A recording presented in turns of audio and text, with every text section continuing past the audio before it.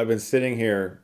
I was like, just just say who made the movie, Chris. Just you know, but I I just still processing.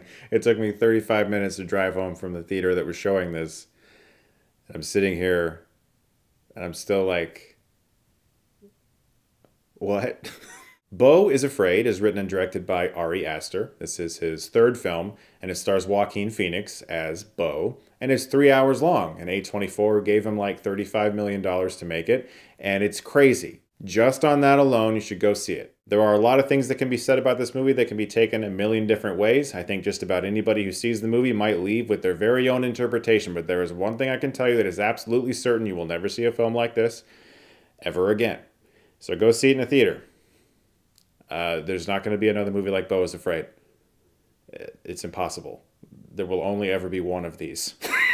the IMDb synopsis says Following the sudden death of his mother, a mild mannered but anxiety ridden man confronts his darkest fears as he embarks on an epic, Kafka esque odyssey back home. The fact that the actual synopsis, like the official one, says Kafka esque Everything about this movie is crazy. On the drive to this movie, I said to myself, look, it's probably not going to make 100% sense. It's more than likely going to be very off putting and a little unsettling, and it might annoy you. And it's probably going to be very self indulgent. At three hours, being a comedy, drama, horror released by A24, those seem like fair predictions. So I didn't engage with this movie like I do other movies. I went in very much so confident in all of those predictions. And I was right, but still, the movie shocked me with how insane it really is. Honestly, I struggle to explain the film, and I don't really want to because I think at the end of the day, the one thing that I can really grasp from it is that Ari Aster is showing us what it's like to have extreme anxiety, what it does to you, and what it does to the people around you, and showing us that through a very fantastical lens that is not part of this reality, I don't think. If you watch this movie expecting to see characters that exist in our world where things happen, you're not going to get that. This is a very heightened version of reality. It's almost like everything that Beau is very afraid of happening constantly in his mind is shown at 110%, 11 out of 10, the dial turned up to max all the time. Now, in other movies that are a little more audience friendly, a little more four quadrant, shall we say, you might get a cutaway to how a normal person on the outside is perceiving what our protagonist sees, and we are informed, okay, so that's not really happening. The protagonist is imagining that because that's just crazy. And this guy on the outside just let me know that because I went into his POV for a second. This movie doesn't give us that. You are firmly in Beau's POV.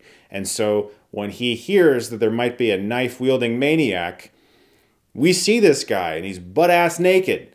And the news is, is talking about him and how he's butt ass naked. and he's running around with a knife and nobody's doing anything about it. When he confronts a cop about this butt ass naked guy with a knife, the cop is like, oh my God, don't make me do it, and draws his gun and starts freaking out, even though Beau's not moving because Beau's terrified of getting shot by this cop all of a sudden. More than likely, if we were looking at this scene from the lens of reality, this cop might be holding his gun and being like, Sir, step away. But we're looking at it from Beau's perspective, and the cop has his gun out and he's shaking like he's about to kill him. Now, I, of course, could be completely wrong. That might not be what Ari Aster is trying to say, but it's what I felt while watching it, which I think is valid because that's all anybody who watches this movie can really take away is what did you feel while watching it? Because the movie, in every way, doesn't really activate our brain to the point where we start to think about the series of events occurring logically or, or even chronologically we are looking at this movie from the sense of how does it make us feel in the moment? What do these series of images and conversations make us feel about how Beau is perceiving the world? Because there's a sequence in an attic near the end of the movie that has no logical explanation in reality. It just doesn't. And you just have to accept it. And it's really funny, I have to say. I laughed a lot. And I wasn't laughing at it, I think I was laughing in all the right spots that Ari Aster wanted me to. And it also has a very few scary parts. There are some excellent prosthetics and props in this movie. If I was an actor in the film, there is a thing built that I would want to take home. if I was that actor, I could very well see many people not liking this film. I could see it getting your 1 out of 10's worst movie I've ever seen IMDb reviews and really cringeworthy, embarrassing Amazon reviews and all kinds of things. But I really like this movie. In fact, I might have loved it. And I, I must stress that I did not engage with this movie like I do most, and let Ari Aster take me on a weird, metaphorical, existential journey into anxiety and terror. And I also think that I'm looking at this from a very specific lens that most audience members may not. And that is that as a filmmaker, I really appreciate the fact that this movie even got made and exists.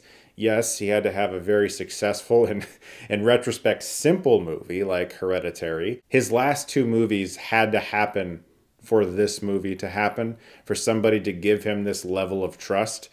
It remains to be seen whether or not this will happen again for him or if it will be a warning sign to other filmmakers who come to studios saying I have this crazy idea because I'm I don't know I'm just not seeing the movie making its budget back in theaters 35 million. I think that it could potentially through DVD, Blu-ray and rentals through VOD and I also think that it will 100% garner a massive following similar to something like The Empty Man. But it will be viewed as a very self-indulgent film by many people and that's fine. And there's going to be tons of people who turn it off 20 minutes in, and that's fine. But if you are the type of person that appreciates very strange and unique movies that could only be made by one person, then you should see this one. And Joaquin Phoenix is excellent in it. He does everything physical work, stunts, crazed emotions, highs, lows, fun, horror, panic, confusion, everything. He really is the full package here, and uh, he's wonderful in the movie. You should see it. Uh, but don't say I didn't warn you. it's really weird. Guys, thank you so much as always for watching. Look forward to more videos very soon. And if you like this, you can click right here and get Stuckmanized.